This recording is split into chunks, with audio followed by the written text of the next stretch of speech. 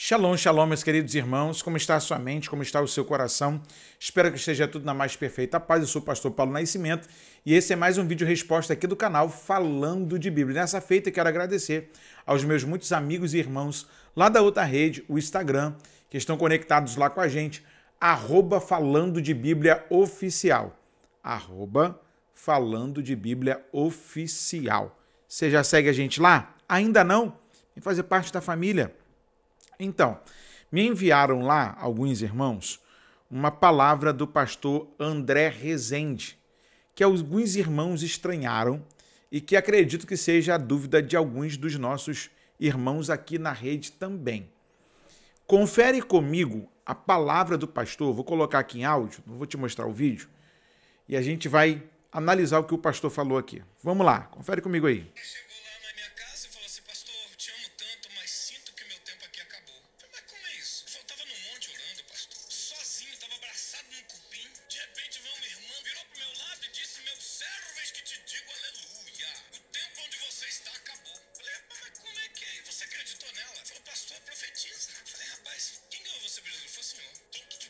senhor. Quem fez teu casamento foi o senhor. Quem apresentou seus filhos foi o senhor. Então Deus da aliança me faz te gerar, resgatar você, amar depois de tantos anos, ver uma profetisa irresponsável e você ainda dá crédito a isso?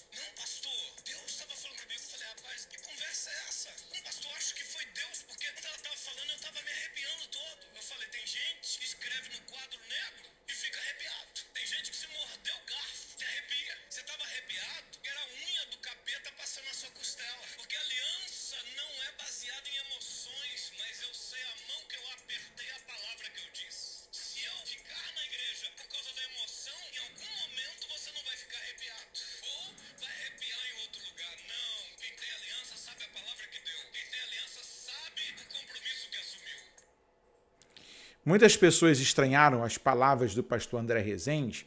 Quero mandar um grande abraço para ele. Não sei se ele é de São Paulo ou do Rio de Janeiro, mas que o Senhor continue prosperando o seu rebanho. É, duas coisas a gente precisa observar aqui. Todo pastor precisa cuidar das ovelhas que Jesus lhes confiou. Gente, é muito complicado. Você está lidando com uma pessoa ali o tempo todo, conhece, o pastor abre a sua intimidade, deixa você se aproximar faz uma aliança com você, participa da tua história e toda palavra que ele fala você coloca em desconfiança. Se qualquer palavra de pessoa de fora, você dá crédito e acha aquela palavra absoluta.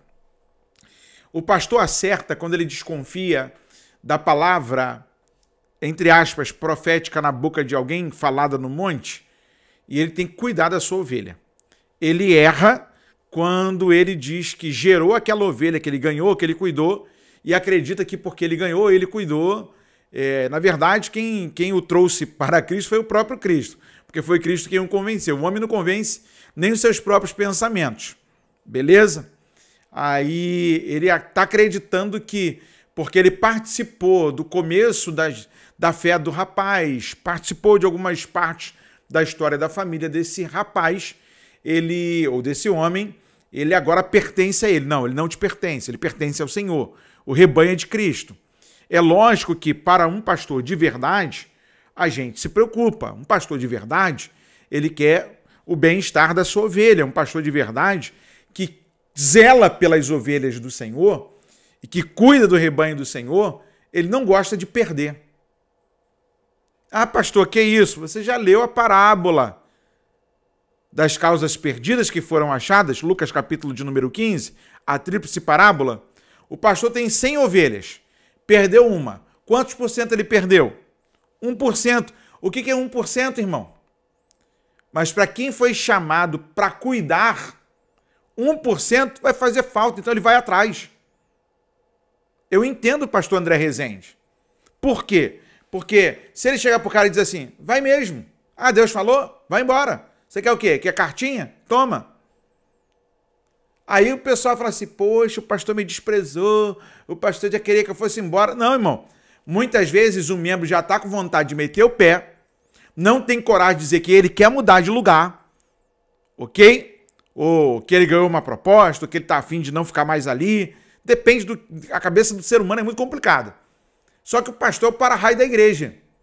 Tudo vai bater na cabeça do pastor. E aí o que acontece?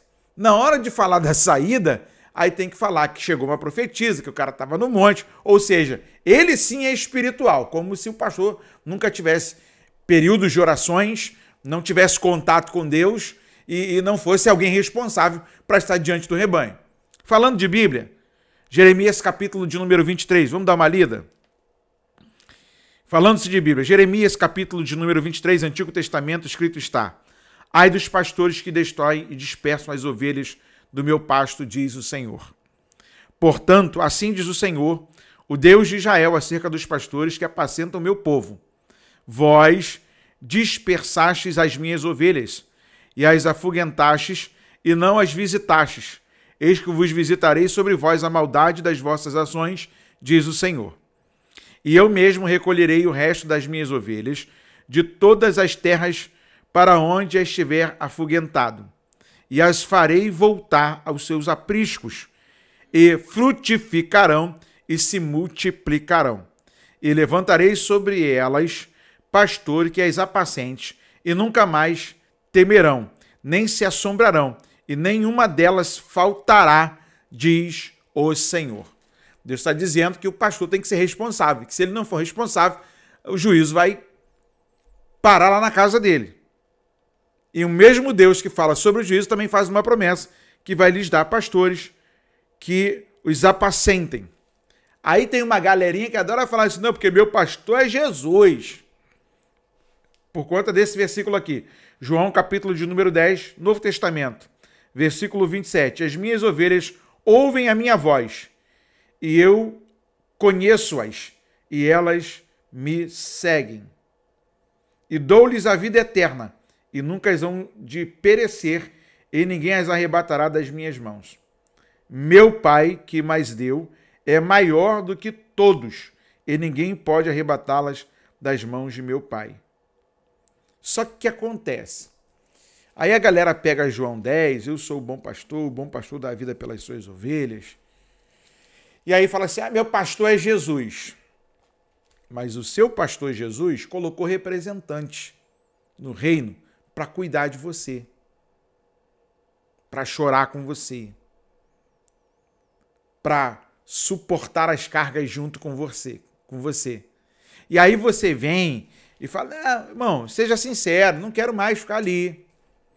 Não estou me sentindo bem aqui. Não, não, não faço, não, sinto que não faço parte mais desse ambiente. E não há problema nenhum. Agora, é fácil a gente colocar a culpa na profetisa, falar que alguém revelou, e aí você é guiado pela palavra ou você é guiado pelas profecias aleatórias dos nossos dias? Eu não estou dizendo que Deus não possa usar alguém. Deus pode usar mas você confia o destino da sua vida em alguém que você nunca viu, porque disse assim diz o Senhor, mas não ouve a voz de Deus na boca do seu líder. Como é que é isso?